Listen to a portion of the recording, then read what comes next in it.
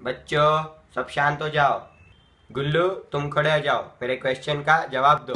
हाँ मैम बोलो। अगर पेड़ पे तीन पोपटे पोपट पोपट अगर पेड़ पे तीन पोपट बैठे उन तीनों में से तुमने एक पर पत्थर मारा तो कितने बचेंगे? मैम अगर एक को मारा तो तीनों उड़ जाएँगे है ना? आंसर तो रॉन्ग है पर मुझे तुम्हारी पसंद सोच आई। सोच पसंद आई। तो मैं गलत?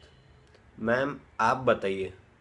अगर तीन औरतें आइसक्रीम खा रही है एक चूस कर एक काट कर और एक चाट कर तो उसमें से कौन सी औरत शादीशुदा है बताइए। जो चूस रही है। नहीं मैम जिसने गले में मंगलसूत्र पहना है बट मुझे आपकी सोच पसंद है। बहुत आगे जाएगा। बहन